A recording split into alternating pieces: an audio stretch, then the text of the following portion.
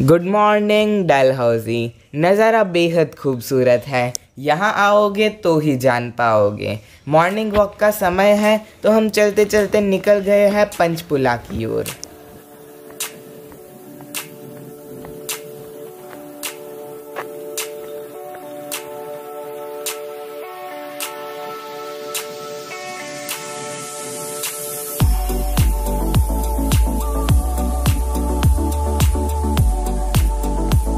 Road की दाई और किसी लोकल आर्टिस्ट द्वारा चट्टानों पर ड्रॉ किए गए बेहद खूबसूरत पेंटिंग है।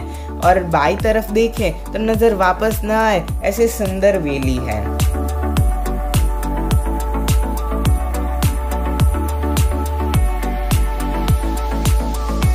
हमने रास्ता पसंद किया है गर्म सड़क वाला। आप भी हैरान रह जाओगे कि इस बेहद खूबसूरत सड़क को गर्म सड़क क्यों कहते हैं। मुझे ये जानने को मिला कि इस सड़क पर धूप सबसे अधिक आती है, इसलिए इस सड़क का नाम गर्म सड़क पड़ा है।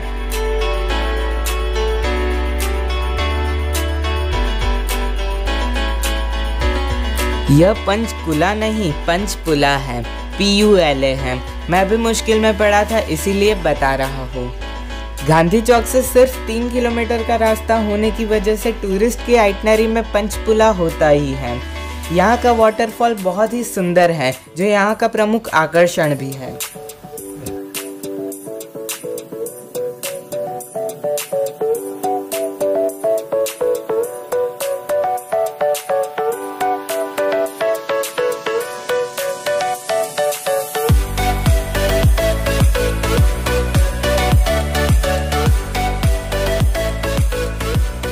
आज से एक सौ तिहत्तर साल पहले भारत का गवर्नर बन के डेल हाउसी भारत आया था।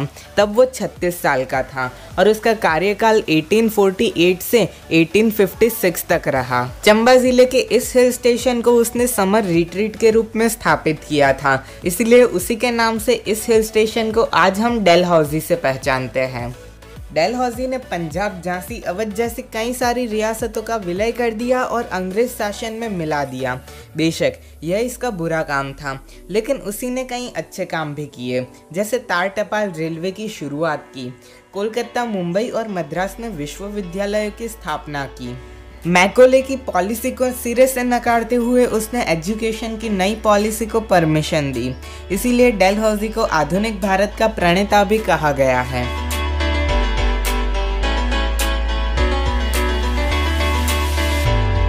खैर यह तो थी गवर्नर जनरल की बात, लेकिन हम तो निकले हैं सिटी टूर के लिए। और अभी अभी हम पहुँचे हैं डेल हाउसी पब्लिक स्कूल में। यहाँ आर्मी ने एक अच्छी प्रदर्शनी लगाई है, जो हम सबके लिए प्रेरणादायक है।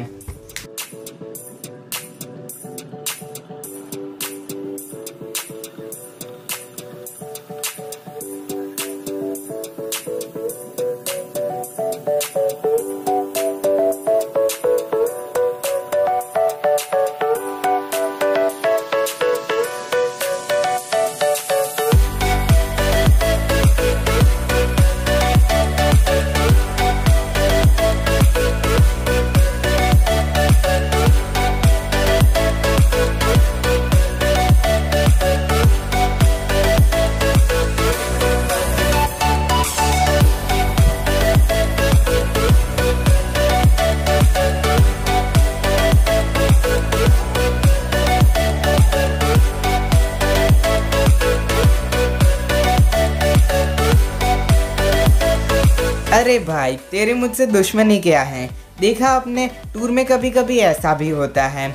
और ऐसे हालात बेहतर यही है कि वक्त रहते इंसान सतर्क होकर अपने जज्बात को काबू में रखकर अपने कदम पीछे हटा ले और अपनी ज़िंदगी को एक नई दिशा की तरफ़ मोड़ने की कोशिश करें।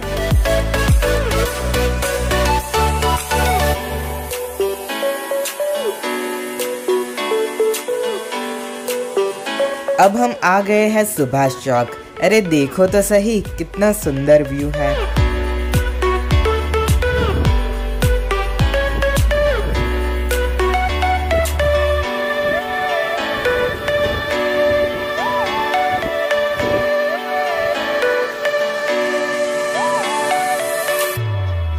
पास में ही सेंट फ्रांसिस चर्च है, जो बहुत ही पुराना लग रहा है। ये अच्छी लोकेशन पर है, इसीलिए बहुत सारे टूरिस्ट यहाँ पे प्रेयर या विज़िट के लिए आते हैं।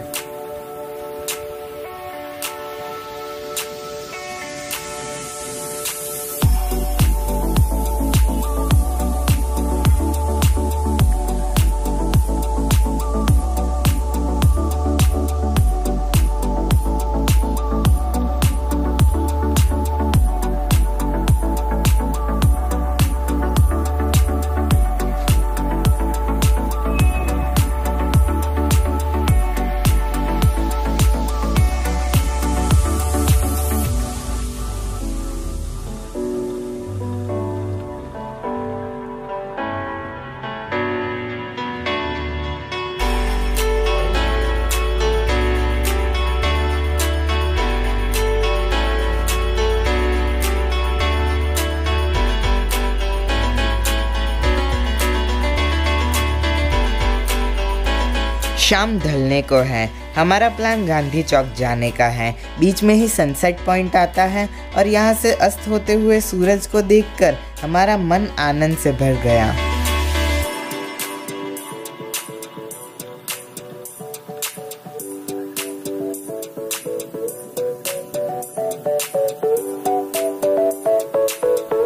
यह है प्रसिद्ध गांधी चौक। डेल हाउसी के ज़्यादातर प्लेस पर जाने का रास्ता आपको यहीं से मिल जाएगा।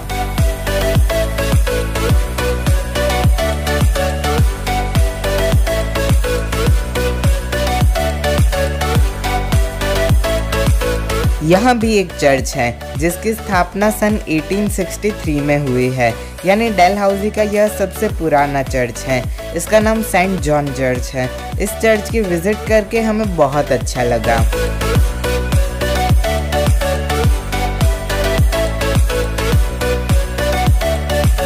और यह इंडो तिबेटियन मार्केट है। अंदर बहुत सारी छोटी छोटी दुकानें हैं। यहाँ चीज़ें अच्छी और सस्ती मिलती है।